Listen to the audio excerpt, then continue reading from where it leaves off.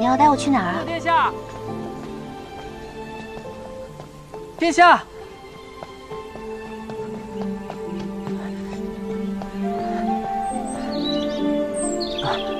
帝君，我我想跟凤九殿下借一步说话。好。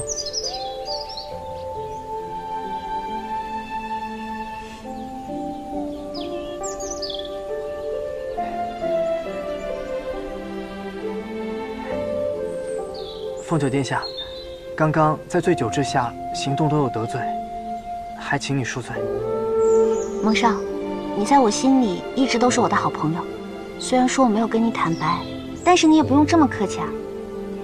所以，我们还能是好朋友吗？当然了，九哥是你的好朋友，你也是九哥的好朋友，以后你就把我当成九哥看待就行了，因为那才是真正的我。我其实很高兴。能在，呃，能能让我倾慕已久的人知道我喜欢他，凤九殿下，我我没什么遗憾了。怎么会没有什么遗憾？要让你喜欢的人也喜欢你，才叫没有遗憾。日后你一定会遇到一个真正爱慕你的人，到时候你一定要豁出去，你学学人家小燕。让那个人像你喜欢他那般喜欢你才行，知道吗？好。嗯。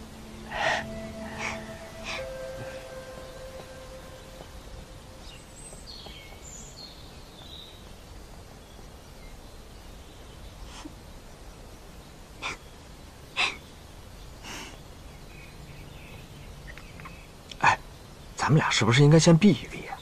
哼，这种万年难凑热闹的机会。有人要跟东华帝君抢人，我恨不得凑到跟前去看才痛快呢，还避？哼，老子就知道天族没好人。你倒是应该避一避，我这么盯着，万一有什么，我可以挡一挡。干嘛这么看着我？你就想在这看好戏是吧？你话说的这么直接，就有点过分了。被老子说中了吧？天族混账！就是你说的这个混账，教你如何下棋，教你如何去赢取姬恒公主的心，你就是这么对待你师傅的吗？什么师傅？老子最讨厌下棋了。过河拆桥是吧？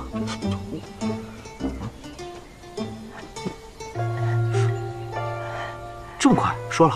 说了。小九说什么了？他说我们以后还是好朋友，还让我多多向你学习呢。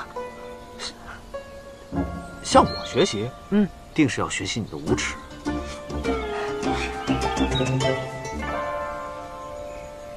他还说，让我下次再喜欢一个人时，定要让那个人像我喜欢他那般也喜欢我。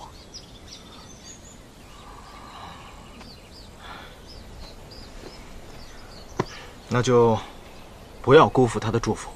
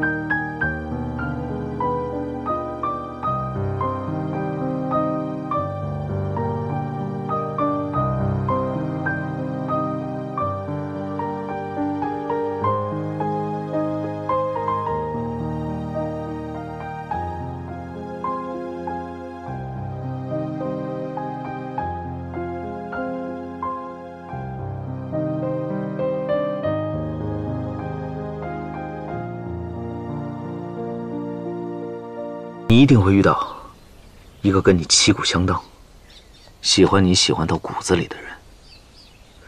如今，他已经得到了他的幸福。别再往那边看了，只管往前走便是。就是啊，别回头啊，大道朝前，走就是了。嗯。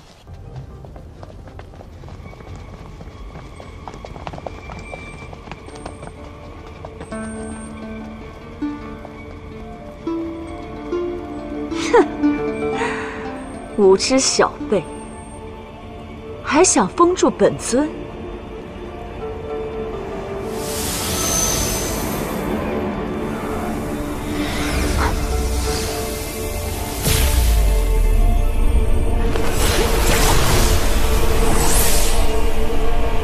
莲心镜，竟然是净化浊气的莲心镜。东华，你果真不给我机会，是你逼我的。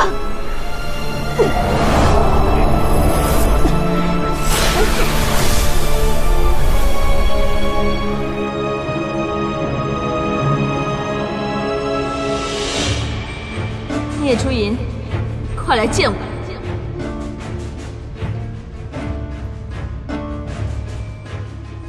莫尊，徐阳用性命布下结界。如果现在要进入禁地，拿出血泪的话，必定要旭阳死。可是以属下现在的能力，杀不及旭阳与众人。想尽办法杀了他。是。东华封住了我一部分的力量，我要想冲出这结界，必须得到最后这滴血泪。尽快拿给我。遵命。